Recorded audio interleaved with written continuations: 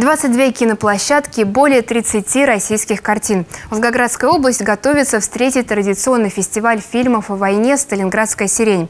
Мероприятие пройдет в городе Герои с 13 по 15 мая.